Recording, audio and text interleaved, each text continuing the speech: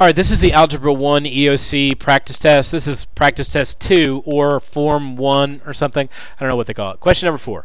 The question says factor 4x squared minus 4x minus 3. There's a couple ways you can go about doing this. Actually, there's more than a couple. There's multiple ways. Uh, one of them is to set a factor list for 4 and a factor list for 3 and then check and guess your way to the answer. I'm going to use slide and divide really quickly. This system's called Slide and Divide. On my channel, I've got some more videos on it. I like to call it Slide Factor Divide. Anyway, what I'm going to do is take the first number and slide it over to the back. So I do take times 4 and it becomes negative 3 times 4. So this becomes negative 12. This just drops out.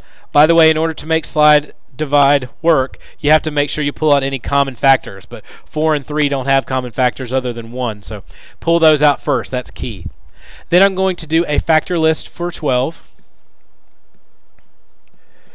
And uh, I'm going to look to see which one gives me negative 4 the way that I'm going to set them up, this sign being negative means that my signs and my answer are going to be different. So since this is a minus, that means this is a plus and this is a minus, or you can flip them whatever you're more comfortable with is fine. Now, um, if this had been plus, by the way, this would either be minus minus or plus plus. Since these are different, I'm going to subtract my factors to try to find this middle number right here. And I see that if I do 1 minus 12, that doesn't give me anything. 3 minus 4 doesn't work. But 2 minus 6 does give me negative 4 and since the it took, since the negative or the 4 is negative, I need to put the big number behind the minus. And there. So that worked that out. So that would be the slide and factor part. Now I need to do the divide. I need to divide by the number I slid over in the beginning. So this 4 here. Reduce your fractions.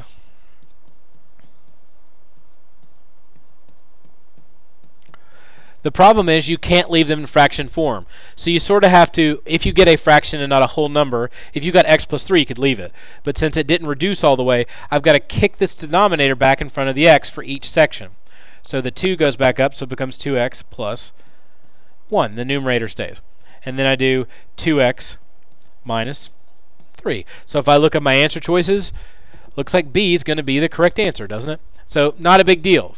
That's slide factor divide. Another way you can do it, and I do not suggest this next method, I'm just telling you that it exists, is there is a way you can do it on the calculator that has no mathematical value. Once again, it's a waste of time. Don't do it. The key is you have to have x not equal to 0. It equals 10 in mine. If it doesn't, go to the window, change the x max and x min to whatever numbers you want, negative 5 and positive 5, uh, whatever it happens to be. Like if you try this method and you get an error, you might want to change it. But you have to change it and then graph something because it locks in that value. But mine's already 10, so I don't have to worry about it. All I'm going to do now is type in the question just as I would normally. So 4x squared minus 4x minus 3 and it gives me 357. This number has no real mathematical value, although it does mean, since x is 10, it would mean 4 times 10 squared minus 4 times 10 minus 3. But in terms of the problem itself, it doesn't mean anything other than it worked for this trick. What I'm going to try to do is check the answers and then find one that matches. So I'm going to do um, 4x minus 3 times x plus 1. Doesn't give me the right answer because it's supposed to be 357 and it's 407. So I'll try the one that I actually think that it happens to be. Or I know that it is because I did it the real way. 2x plus 1. It's 357.